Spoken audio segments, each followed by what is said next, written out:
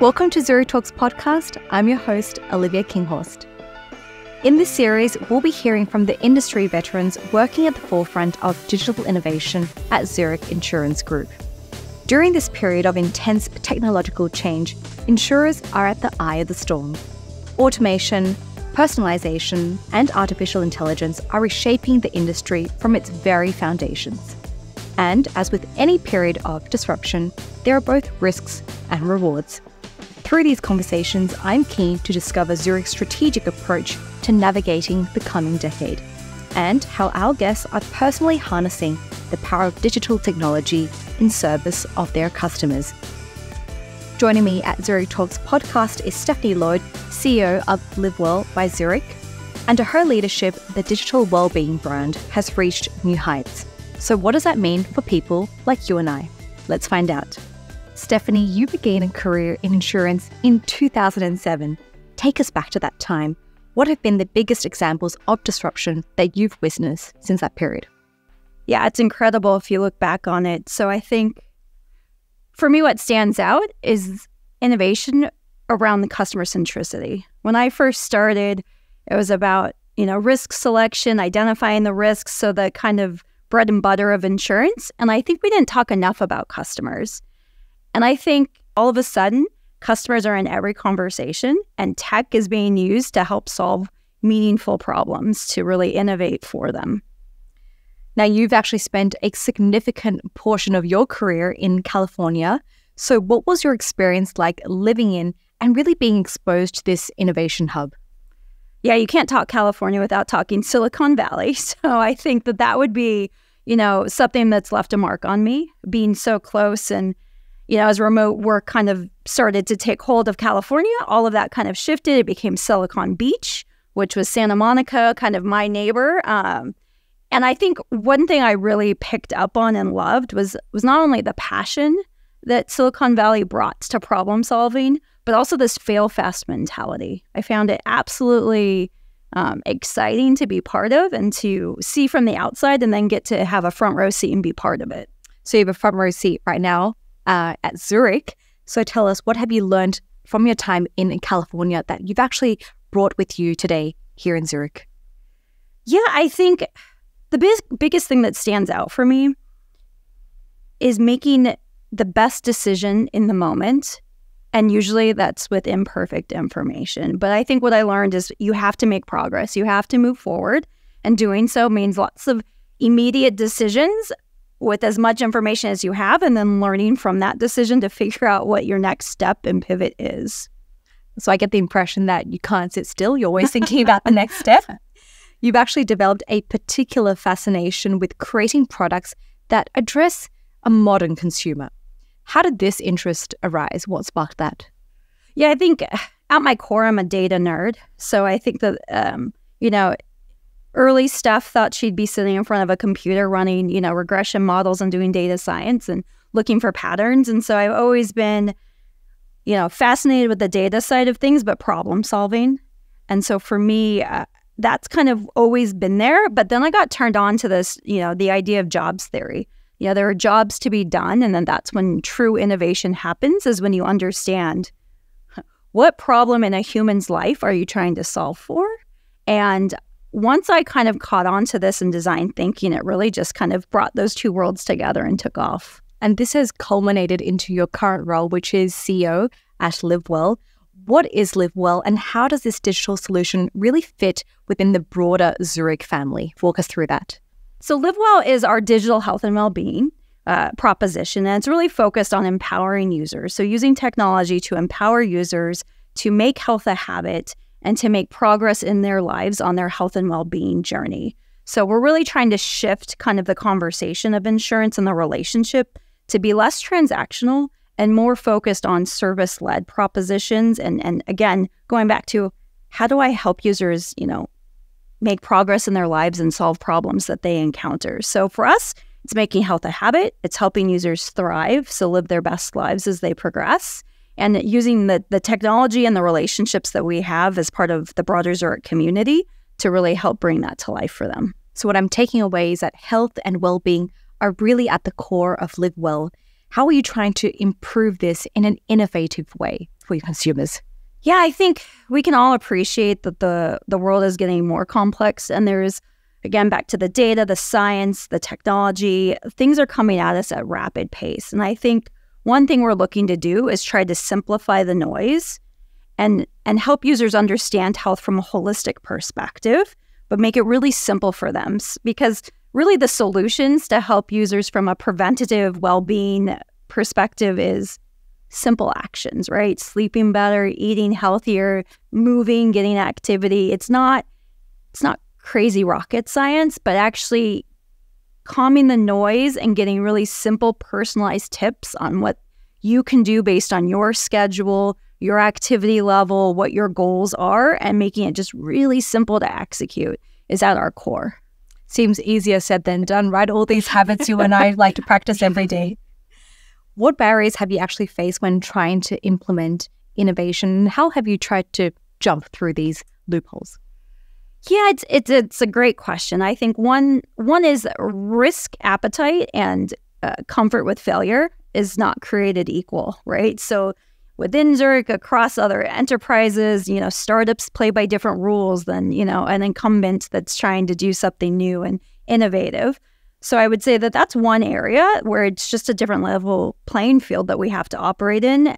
And part of that goes to um, everyone thinks that innovation is like big ideas, big moves, and it's really just a series of slow kind of like it doesn't happen overnight. And I think uh, there's a lot of patience that's involved.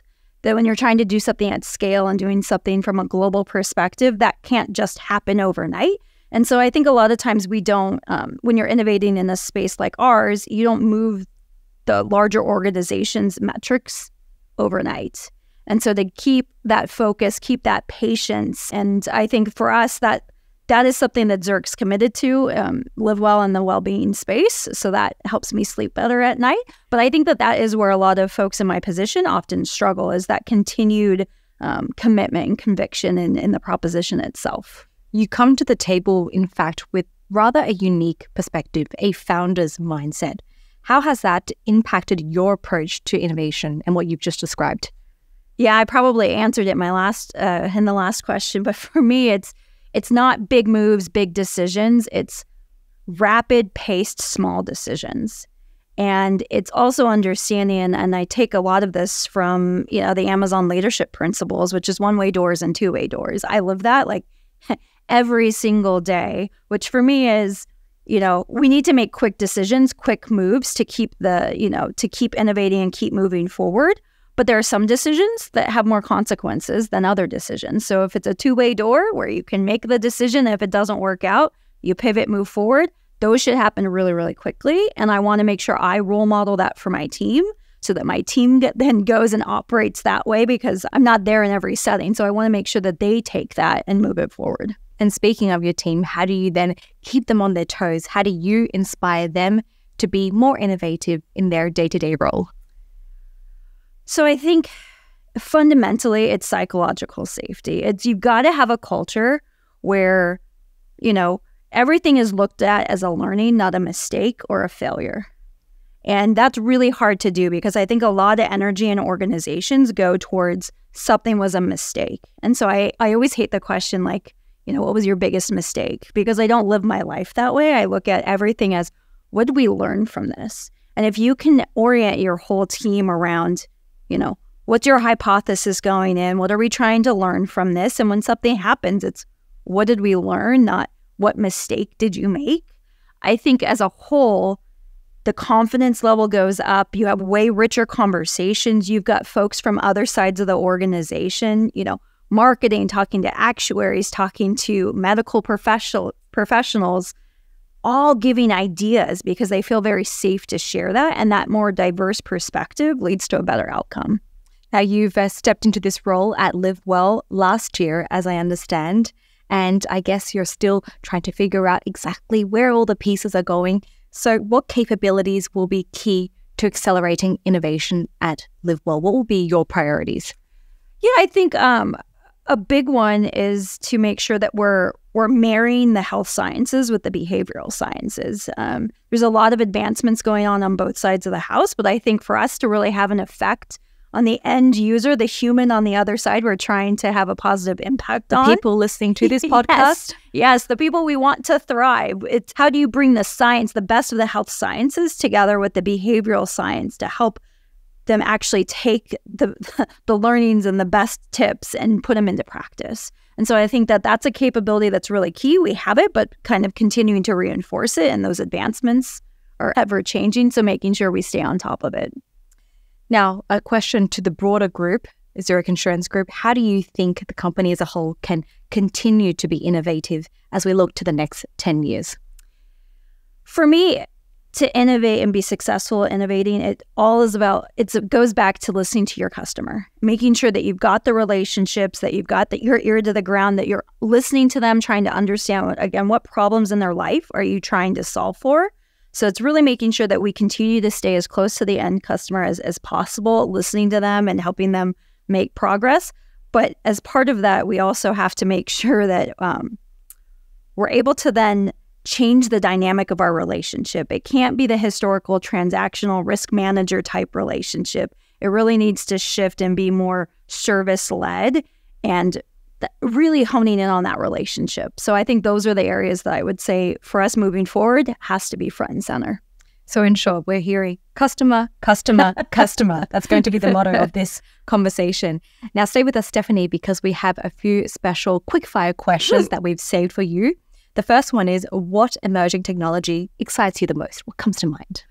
Okay, precision health for me. So I know the the sexy answer would have been generative AI, and that we can talk about that for hours as well. But for me, precision health is so exciting. The fact that we can really understand at your DNA level what makes you different and how to treat things that you might have, you know, the challenges you might face. Um, personal side, my husband had leukemia in 2021. And by all the tests, we learned that he had a different mutation that meant he needed a different course of treatment than what the standard of care would have been. And to me, just right, I mean, the fact that we knew that and we could personalize his care based on that knowledge has just forever changed me. So I'm so excited about precision health and how that'll turn and transform into personal care all powered by the advancements in AI. What's the one value you would associate most closely with Zurich? Forward looking. I think we can't, everything that's got us to this point isn't going to be what continues us for the next 150 years of success. So I, I really respect and respond to Zurich as a whole, constantly looking at how do we evolve, how do we move forward. Um, so that's really what resonates with me. And final question What's the one piece of advice you would give your younger self entering the fascinating world of insurance? Oh, I think you answered it by calling it fascinating. I think when I first joined insurance, I I thought it was going to be a, a bit stale, a bit conservative, a bit boring, and and coming in, I've I've found it to be nothing but the richness of the data, the complex problems we're trying to solve. It's just a really exciting industry, and you can have lots of careers just inside this one, you know, one company, one in uh, one sector. So I would say uh, remain open, keep an open mind to the possibilities. Um, on a very personal level, what I would give my my younger self is is to bet on yourself. I think so many times as women, in particular, although I know it's it's not uh, restricted to women, we when we see job opportunities, we look at every single line item on that job and if we don't check every box, we think it's not for us. And I've, I've done that to myself. And I've been fortunate enough to be surrounded by my own personal board of directors who have stopped me when I've been fallen into that trap and, and encouraged me to stretch further and to go for it. And I would tell myself, I'd want to encourage myself to uh, bet on myself more because it, we can do amazing things. And even if we don't know how to do it today, I think we can figure it out. And now you've ended up here. Yeah. By betting on yourself. Worked out a little bit. So thank you so much, Stephanie, for this discussion. And if you've enjoyed this edition of Zurich Talks podcast, make sure to discover more at www.zurich.com slash zurich-talks. And if you found these insights helpful, make sure to join the conversation over at LinkedIn using the hashtag Zurich Talks. We'll see you soon and take care.